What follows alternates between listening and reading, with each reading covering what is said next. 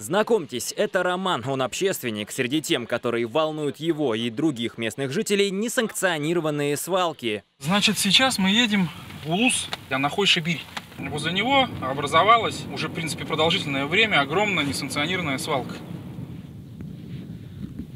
Найти здесь можно практически все, что угодно, начиная от старой мебели и строительных материалов, заканчивая спиннерами и просто бытовым мусором. Но это не самое страшное. Здесь лежат трупы животных. Кто ее не вывозил, она только растет. Растет, постоянно растет. Об этом знают и местные жители, они мне тоже про это говорили. Самый неоднозначный момент – это то, что буквально в 300-400 метрах от свалки находится святое место. Там, например, Аршан, а вон там Або. Ну все, после этой воды произойдет исцеление. Еще одно место мусорной славы – территория бывшего анахойского лесоперерабатывающего комбината. Сюда вывозят не только обрезки деревьев и строительный мусор, но и останки животных, а также мусор бытовой. Самое страшное – до центра Анахоя всего ничего, и один неосторожно брошенный бычок может привести к непоправимым последствиям. Вы своеволием занимаетесь или почему-то приказу это делаете? Без комментариев. Без комментариев. Значит, трактор администрации, номер.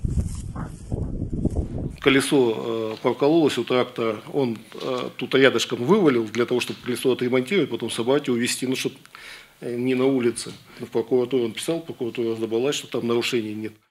Однако в прокуратуре нам сообщили, что нарушение со стороны администрации все-таки было. Ведомство вносило представление о его устранении. Кто сваливает-то сейчас туда? Жители могут валить, кто ж валит еще? Жители валят э, с кустов.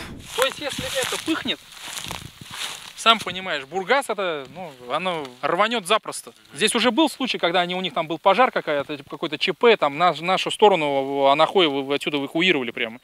А теперь по порядку. Земля под бывшим ЛПК принадлежит администрации Заиграевского района. В начале 22 года прокуратура подала иск по ликвидации этой свалки. Решением Заграфского районного суда требования прокурора удовлетворены в полном объеме. В настоящее время службы судебных приставов принимаются меры административного воздействия к ответчику. Отметим, решение пытались оспорить в Верховном суде Бурятии, но его оставили без изменений. В решении райсуда указан срок для ликвидации не позднее шести месяцев со дня вступления в законную силу. Суды проходили в первой половине 22 года.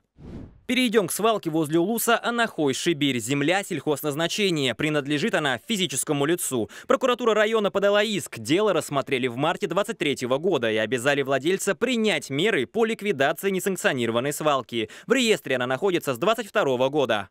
27 марта этого года в ходе выездного обследования данного земельного участка совместно с представителями администрации района были выявлены нарушения законодательства. Собственнику выдано предостережение о недопустимости нарушения обязательных требований.